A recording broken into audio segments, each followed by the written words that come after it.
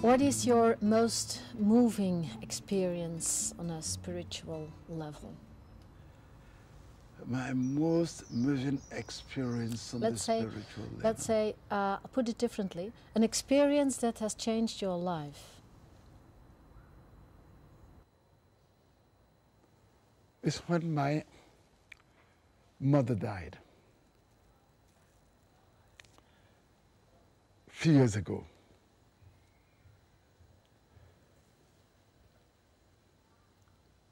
The experience of being lost. I was close to my mother because I was a premature child. Uh, the doctor says that uh, uh, my mother was going to die if he insisted in giving birth to me. But this woman was didn't believe in it. She ran away the day she was going to fall for surgery. And I was born prematurely. So the bond was there. And I wasn't there when my mother died. But I had a very strong feeling. And I called. I knew. My brothers, I said, look, something is wrong. So there's nothing I haven't got in there. I said, please call back home. Within hours, it came back. And that, I knew he was talking to me over there. That was a strong bond. And I went back home. And, and where she was lying, I stood there. I never cried that much. I closed the door.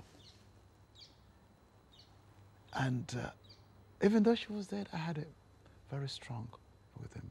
And each time I'm tired and I come back to that experience, I feel my mother is still present because it's her courage that I exist today.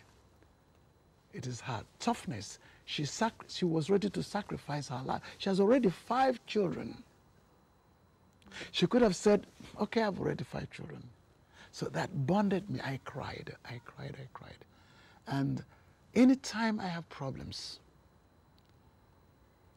that sin comes back to me. And it's a source of courage because I know, we're talking about God today, it is that connectedness there with my mother.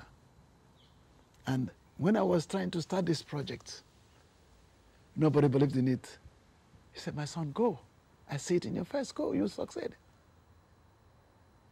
He succeeded.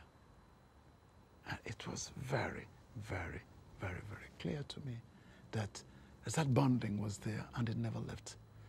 And uh, my priesthood was because of that, because he showed me love.